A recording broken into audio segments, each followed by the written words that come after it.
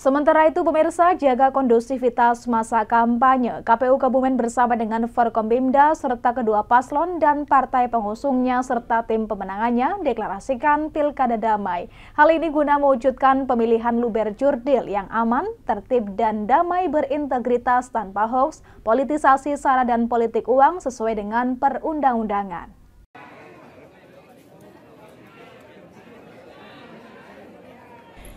Komisi Pemilihan Umum atau KPU Kabupaten Kebumen bersama Forkopimda deklarasikan pilkada damai dengan para paslon dan partai pengusung serta tim pemenangannya.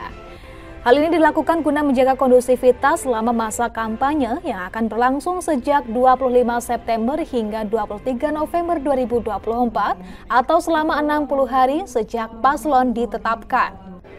Pada kesempatan tersebut, naskah deklarasi yang dibacakan oleh Ketua KPU Kebumen Zakiatul Banat ditirukan oleh seluruh peserta. Usai deklarasi kedua paslon menandatangani deklarasi kampanye damai yang menunjukkan komitmen mereka untuk menjaga kedamaian dan demokrasi selama masa kampanye.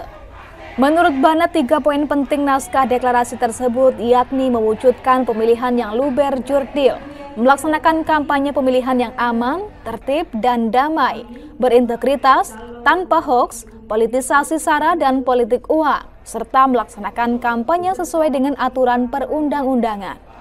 Selain itu, sebagai upaya menjaga agar pilkada berjalan dengan aman dan tertib, Polres Kebumen turut menyiagakan personilnya dalam mengawal proses pilkada serentak ini dengan memberikan pengawalan ketat kepada kedua paslon.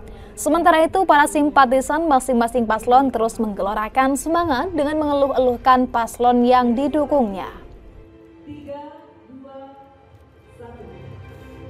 Dari Kebumen, Parianto, Banyumas TV melaporkan.